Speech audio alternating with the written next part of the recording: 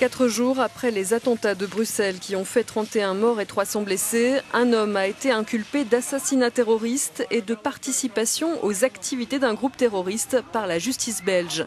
Il avait été arrêté jeudi soir en face du bâtiment du parquet fédéral.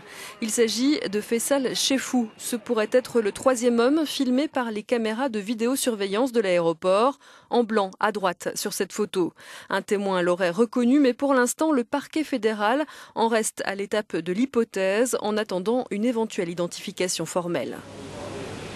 L'homme interpellé à un arrêt de tramway ce vendredi est blessé à la jambe et lui toujours aux mains des enquêteurs. Un autre suspect prénommé Rabat et arrêté lui aussi ce vendredi à Bruxelles a été inculpé pour participation aux activités d'un groupe terroriste, mais cette fois dans le cadre de l'enquête sur le projet d'attentat déjoué en France.